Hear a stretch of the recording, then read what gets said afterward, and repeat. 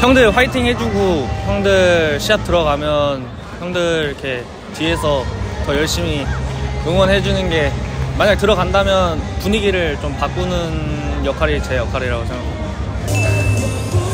일단 형들한테 잘해야 되는 인성하고 어, 뭐 배구를 잘해야 되고 눈치 이렇게 세 가지.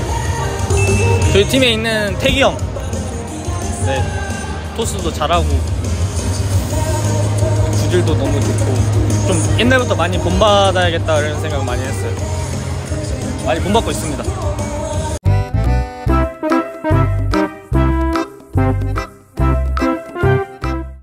이것만 최고다? 전 잘 웃습니다. 네, 웃음이 제일 최고입니다.